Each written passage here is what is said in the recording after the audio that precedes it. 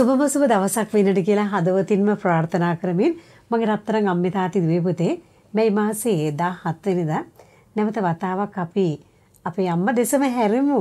ඉතින් social media ඔස්සේ අපි දැක්කා නොයෙකුත් පෝස්ට් දාලා තියෙනවා. අම්මට හැපි මදර්ස් ඩේ කියලා කියලා අපේ දරුවෝ සුබ ප්‍රාර්ථනා කරද්දි අපේ අම්මලා කියනවා අනේ පුතේ මේ මට මේ පොල් ටිකක් ගාලා දෙන්න පුතේ ඇවිල්ලා. ඇත්තට අම්මට ඒ මොහොතේ ඒ කියන දේ තුල අම්මා හරි ගැඹුරු අර්ථයක් ඒකේ තියෙනවා.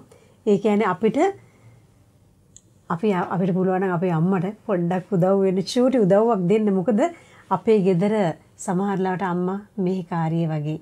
අම්මා උදේ ඉඳලා රෑ වෙනකන් එක දිගට එක දිගට උදේ පාන්දර නැගිට වෙලා ඉඳලා රෑ රෑ නිින්දට යනකන් අපේ අම්මා වැඩ. අම්මට කරන්න තියෙන රාජකාරී කිව්වොත් අපිට ගණන් කරන්න බෑ. එකින් එකට එකින් එකට එකින් එකට යන්ත්‍රානුකූලව ඇය ඇයව හසුරුවනවා. ඉතින් ඒක නිසා මගේ රත්තරන් අම්මේ තාත්ති දුවේ පුතේ අපි ගොඩක් කාර්යබහුලව වෙන්න පුළුවන්. නමුත් පුතෙක් වෙන්න පුළුවන් දුවෙක් වෙන්න පුළුවන්. අපි දෙන්නටම පුළුවන් අපේ අම්මට චූටි උදව්වක් දෙන්න. පොල් ටිකක් ගාලා දෙන්න. අම්මා ඉල්ලුවා වගේ එහෙමත් නැත්නම් හොදන්න තියෙන රෙදි ටිකක් හොදලා තියෙන රෙදි ටිකක් ගිහලා පොඩ්ඩක් වැලට දාලා දෙන්න. එහෙමත් නැත්නම් කාපු පිඟානවත් තමුන් කාපු පිඟානවත් ගිහිල්ලා චුට්ටක් හොදලා තියන්න පුළුවන් නම් මොනතරම් උදව්වක් උපකාරයක්ද අපේ අම්මට කරන්නේ. ඉතින් ඒක නිසා අපේ අම්මලා අම්මලා අපි රැක බලා ගන්න ඕනි. එයාට සහනයක් වෙලා සැනසීමක් වෙලා.